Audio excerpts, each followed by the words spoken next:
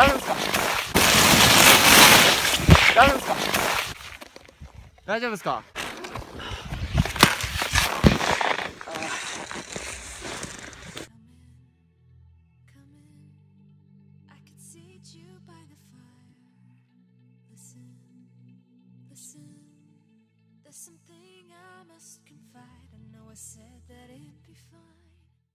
町の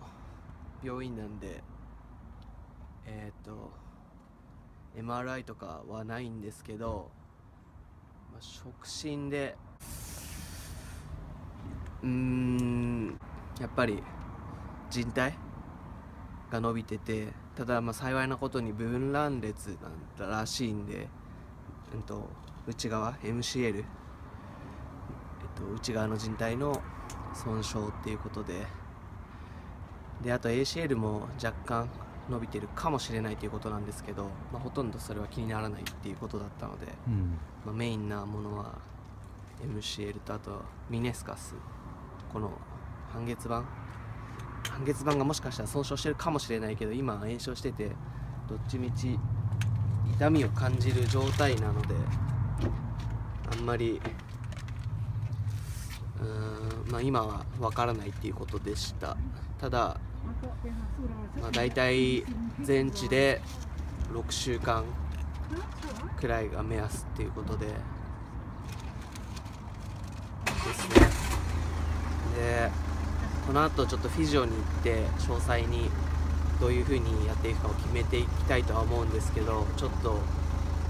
う日本に帰るのかどうするのかも含めてちょっとこれから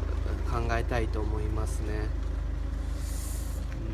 このスポーツはサッカーとかと違ってやっぱりそのサッカーとかだったらね、うん。1回のパスミスが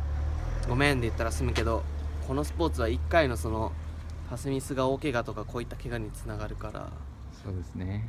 特にこういう前も俺はすごい言ったけどこのスピード特にスロープだとスピードのチェックの部分とかは本当に慎重すぎるほどやってもいいんじゃないかなとは思いますね。うんまあうん。ちょっと、まあ、この大今回大会のために来ててその大会がもう 6, 6週間後とか7週間後うん。くらいに迫ってるから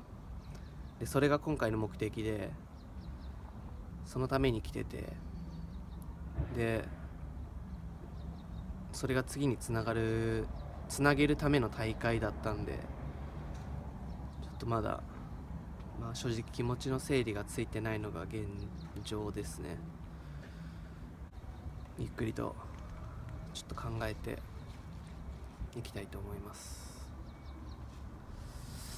うん今まで膝の怪我したことなくて体の調子も良くてすごい動いてる状態でこういう怪我をしたのは、まあ、結構自分的にもすごいショックで、うん、ちょっと今後のことを考えないといけないのかなとは思いますけど。まあでももうやっちゃったことはしょうがないんでとにかく、まあ、今できること今考えなきゃいけないことを、ね、しっかりとちょっと向き合って考えたいと思います。ということでただ、まあ、現状がこういうのだっていうことを見てくれてる人とかにはちょっと伝えたかったんでこういう形で本当こういう報告で申し訳ないんですけどはい。なので温かく見守っていてくれてたら見守っていてくれてれば嬉しいかな。っていう感じで。まあしょうがない。やっちゃったことは。そうですね。とにかく。まずは次に進めるようにリハビリをね一旦したいと思います。OK じゃあ今日はこの辺で終わりましょうか